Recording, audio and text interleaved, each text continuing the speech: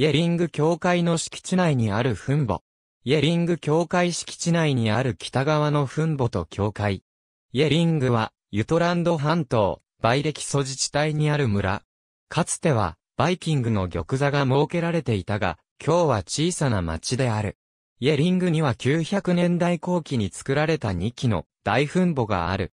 内北側の墳墓は、ゴーム老王の墓であると考えられており、木棺が埋められていたが中には銀杯などわずかな副葬品しか発見されなかった。南側の墳墓には、棺すら埋められていなかった。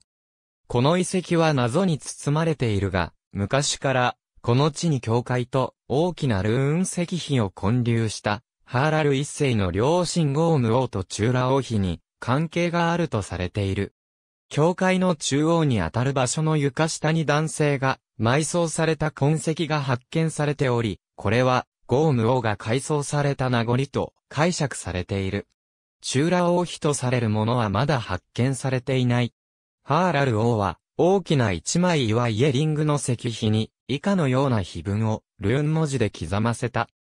ハーラル王は、父のゴーム王と母、チューラを記念しこの記念碑を作らせた。ハーラルは、デンマーク、ノルウェーを勝ち取り、レーン人をキリスト教に改宗させた。これは、デンマークのキリスト教家の宣言として知られており、イェリングの石碑はデンマークで最も有名なルーニ碑文の一つである。ありがとうございます。